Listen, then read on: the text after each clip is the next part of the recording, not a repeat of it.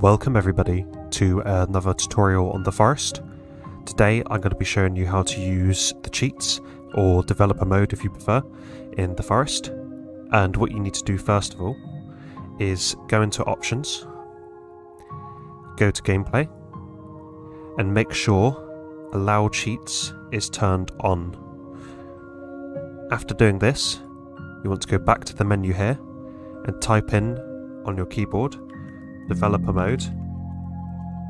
On. All one word. And hit enter. Then you want to go into a game?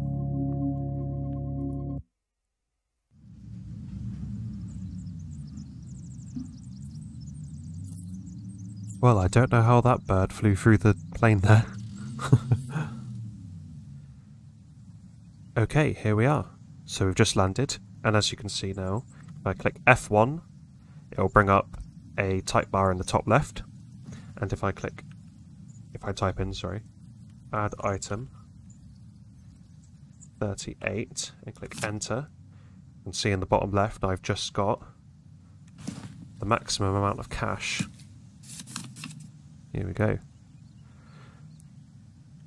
So you can do lots of things with this. Also what you can do is F1 type in God mode on and that'll mean that your character won't die. So if I give myself add item 29, that'll give me all the explosives that I can carry and show the uh, God mode working.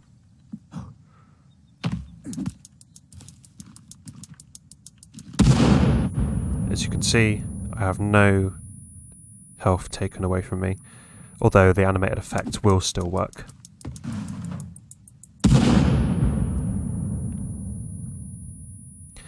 There we go, so you can have a bit of fun with this, as you can imagine. You can also do add all items by literally typing in add all items. And that'll give you every item in the game, whether that be um, story based, non story based, and as you can see, obviously, all my inventory is fully decked out with everything that I could possibly have. And you can mess around with this, uh, spawn enemies in if you want to, um, things like that. What I'll do is I'll leave a link to two websites down below.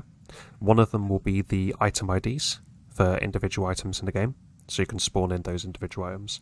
And another one will be a general um, commands list, which will show you how to do uh, a bunch of other things, including kill all enemies, spawn in enemies, uh, cut grass, cut all trees in the game, etc., etc.